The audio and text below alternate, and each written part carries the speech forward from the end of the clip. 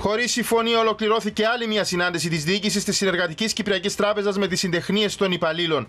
Το τοπίο παραμένει θολό με την κλεψίδρα όμως να αδειάζει, καθώς οι διαδικασίες θα πρέπει να ολοκληρωθούν τις αμέσως επόμενες εβδομάδες. Έχουμε την υποχρέωση και το καθήκον να συμφωνήσουμε, διότι και τα περιθώρια τα χρονικά εξαντλούνται και ο κόσμος αγωνία. Το θέμα είναι όχι να συμφωνήσουμε για να συμφωνήσουμε.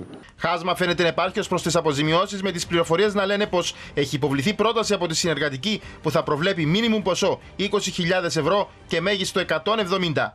Οι θέσεις οι δικέ μας είναι γνωστές και έχουν γίνει σε μια προσπάθεια το σχέδιο, εφόσον είναι εθελοντικό, εφόσον δεν είναι στο τραπέζι να απολύσει, το σχέδιο να είναι ελκυστικό και να μπορεί να το επιλέξει ένας ικανοποιητικός αριθμός συναδέρφων. Την ίδια ώρα όμως δεν έχουν δοθεί και ξεκάθαρες απαντήσεις σε σχέση με τις διαδικασίες μεταφοράς 1.100 υπαλλήλων στην Ελληνική Τράπεζα και 650 στο φορέα. Πρέπει να πούμε ότι δεν θα δεχτούμε να εξαναγκαστεί κανένας συνάδελφος σε αποχώρηση.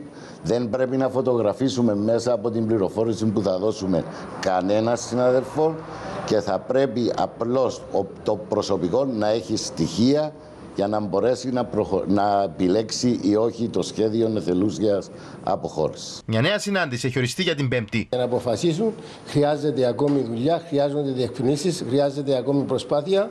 Έχουμε συμφωνήσει συνάντηση την Πέμπτη, να αναμένουμε την Πέμπτη να έχουμε όλα εκείνα τα απαντήματα που εκκρεμούν, ούτως ώστε να μπορέσουμε να προδιαγράψουμε κατά πόσο μπορούμε ή δεν μπορούμε να συμφωνήσουμε. Σύμφωνα με πληροφορίες, η πρόταση που έπεσε στο τραπέζι αφορά αποζημιώσεις 110 εκατομμυρίων ευρώ στους 900 υπαλλήλους της συνεργατικής που θα αποχωρήσουν.